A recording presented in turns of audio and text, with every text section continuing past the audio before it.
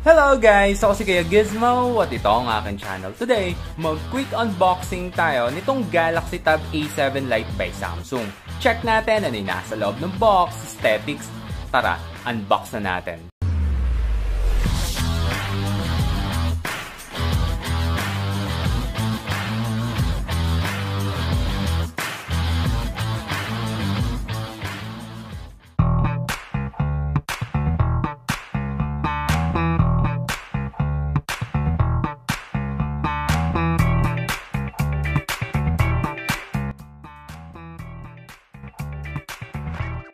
Bago sa unit, check muna natin ano yung nasa loob ng box.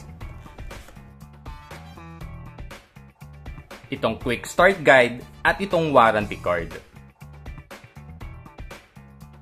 Sa pinakaloob ng box, itong sync cable o charging cable. Ang okay dito, ito USB Type-C. At itong head charger, ang Samsung Galaxy Tab A7 Lite, ito'y supported ng 15 watts.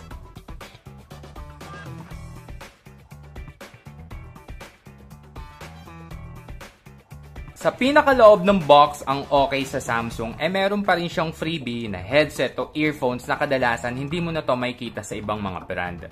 Pero guys, ito yung entry level lang na headset kaya hindi to ganun kaganda ang tunog. Pero still, free lang naman kaya okay pa rin.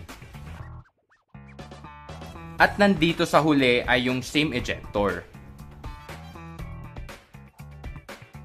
Next, punta na tayo mismo dito sa unit. Itong na-unbox natin, ito yung color na gray. Available din to sa silver color.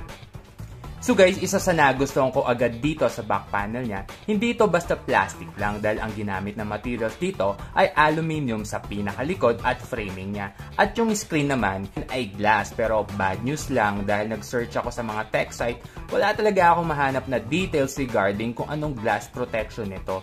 Moving on, i-boot on muna natin.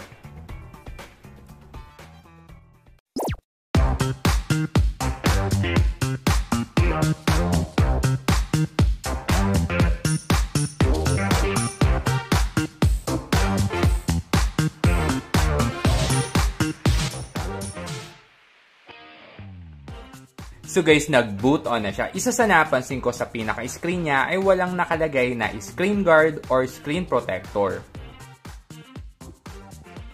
So guys, isa sa napansin ko yung minimized na bezels niya.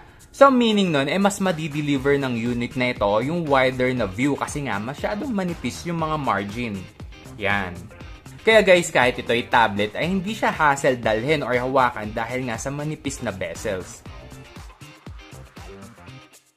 Next, punta na tayo sa specs. Ang Samsung Galaxy Tab A7 Lite ay meron siyang 8.7 inch na HD Plus na TFT screen.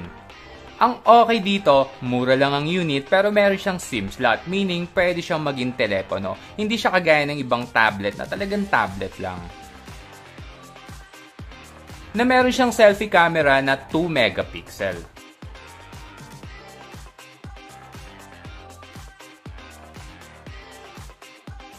Itong na-unbox natin, ito yung 332 na variant ng SRP nun ay 7990. Ang chipset na nandito ay pang entry level lang din yung Helio P22T na 12 nanometer.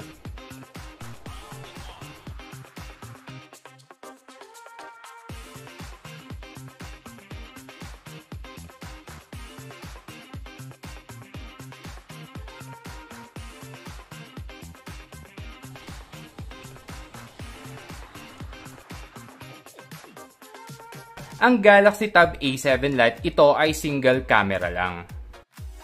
Na ang main shooter nito ay 8 megapixel. Dagdag details ko lang. Sa right side niya, itong power button at on-off switch. At itong volume rocker. At nasa right side din yung noise cancellation. Across the screen ay nag-iisa lang siya dito na SIM tray. Check natin kung anong klaseng tray to. So guys, tulad ng kaninang nasabi ko, ay pwede ka dito maglagay ng SIM at ang okay ay pwede ka rin mag-extend pa ng storage dahil pwede ka dito maglagay ng micro SD card. Yan.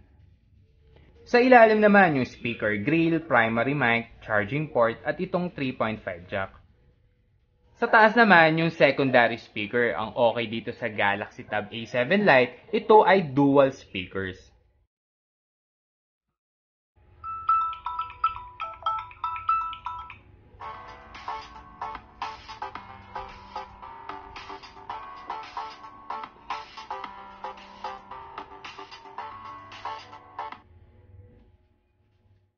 At isa pa guys, naka-pogi points din dahil ito ay Dolby Atmos. Next, itest naman natin yung 8 megapixel.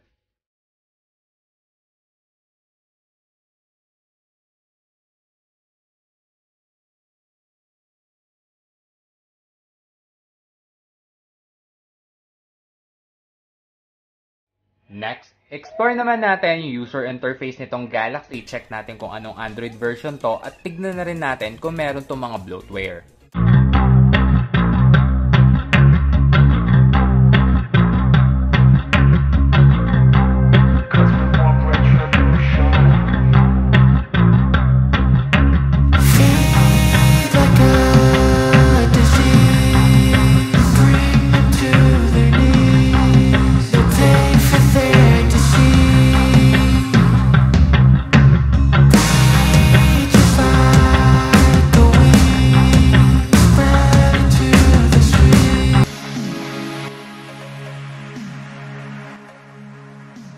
So guys, ito napansin ko. Meron siya mga bloatware, may iba pwede mong uninstall at may iba na hindi talaga pwede.